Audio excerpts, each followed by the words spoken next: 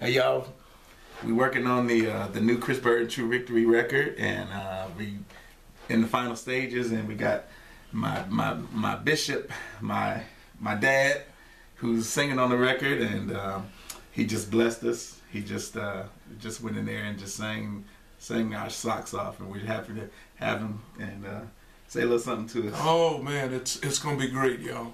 You need to make sure you get it because it's gonna be great. You know, you know this fella anyway. You know uh, the expertise that God has uh, uh, anointed him to uh, put in his music. So uh, it'll be another piece of music that you will treasure for the rest of your entire life. I'm just glad to be a part of it.